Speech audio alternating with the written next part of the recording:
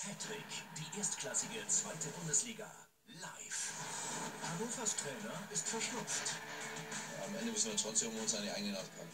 Nach dem Verlust der Tabellenführung und dem Debakel in Fürth Man kann schon von der schwachen Leistung von uns sprechen. finden die 96er zurück in die Spur beim spannendsten Aufstiegsrennen aller Zeiten. Also, dass es ein enges Ding werden wird bis zum letzten Spieltag.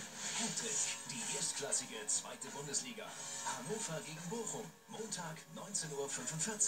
Live auf Sport 1.